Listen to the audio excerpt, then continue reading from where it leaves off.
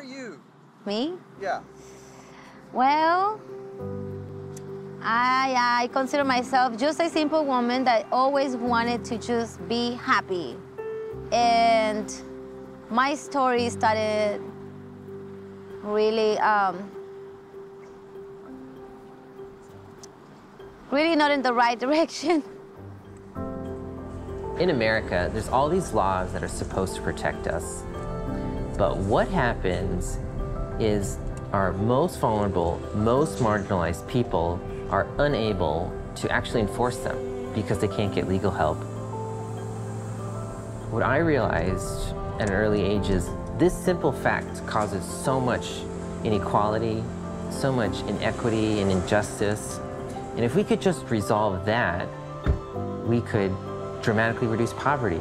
We could dramatically improve equality and equity in our society.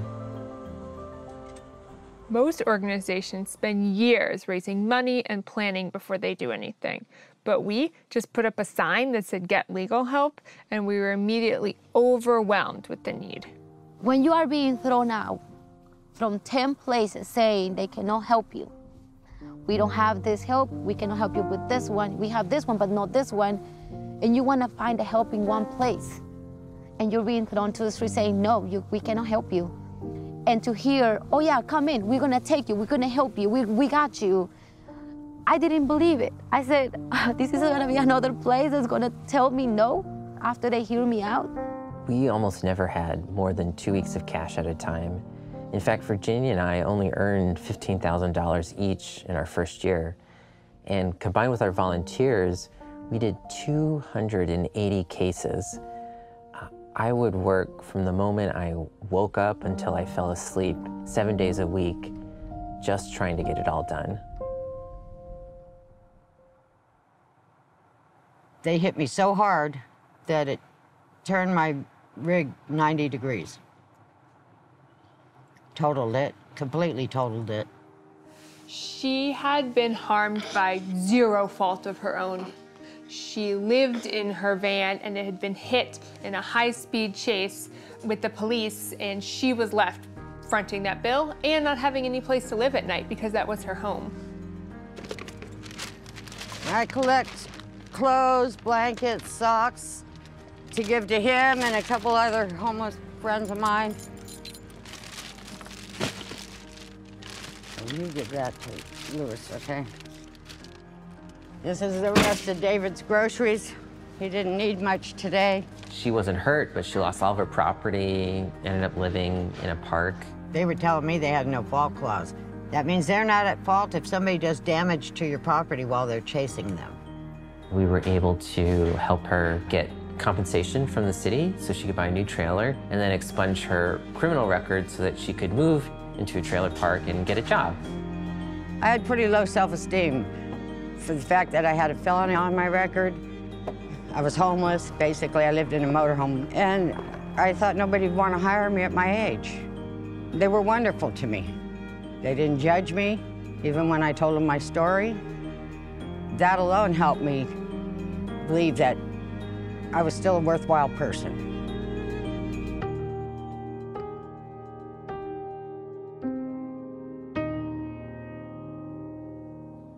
What we've essentially built, it's kind of like the first general hospital for legal issues. The general hospital is the place you can go if you don't have any money, if you don't know what your problem is, and they treat all kinds of medical issues.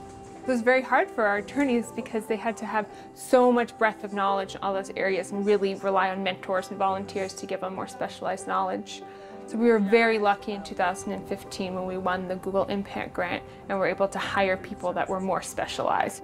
I had gotten so many no's that to finally get validation, you know, from Google and from them to put this money and for them to say how impressed they were with our work, I just broke down and cried. Claudia came to us in her moment of pure desperation. She was homeless because her husband had called the cops and said that she hit him, which wasn't true. In fact, she was a victim of eight years of abuse.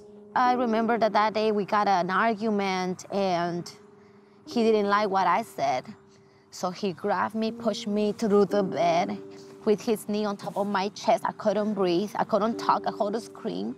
But somehow, he went with his head and knocked me down to the point that I just remember seeing to the side that my daughter was standing right there and she was paralyzed. She was like, and when she saw me crying, because I didn't even know that if noises were coming out of my mouth, and she was like this. She was probably like three years old, I would say.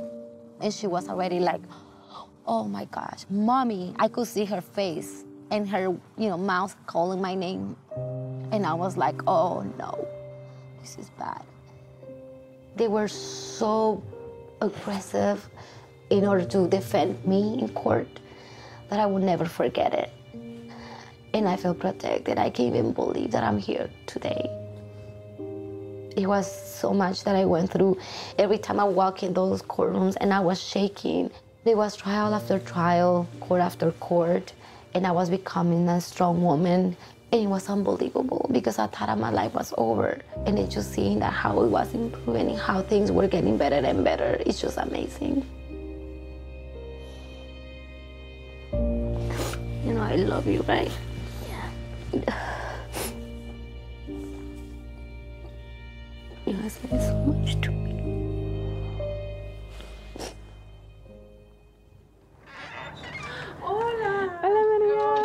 We believe that injustice is the heart of poverty.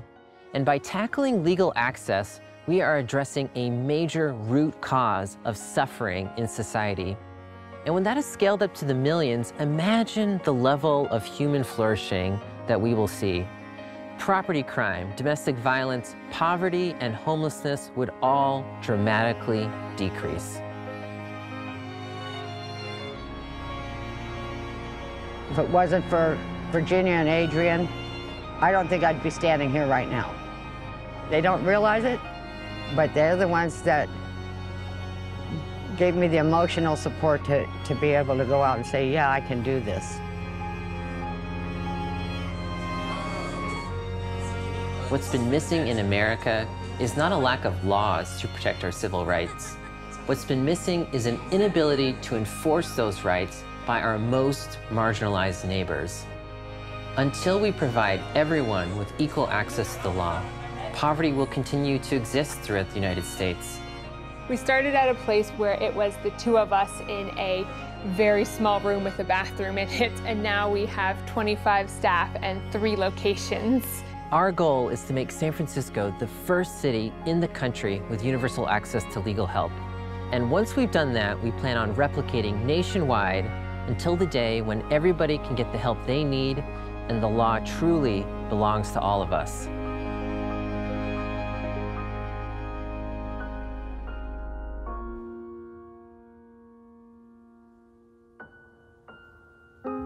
What I see in 15 years of my kids, I see Dr. Emma Rustrian attending her, her patients, and I see Moises Rustrian as an engineer for cars and building, and I see them happy with their families and have the life that I didn't get when I was that age.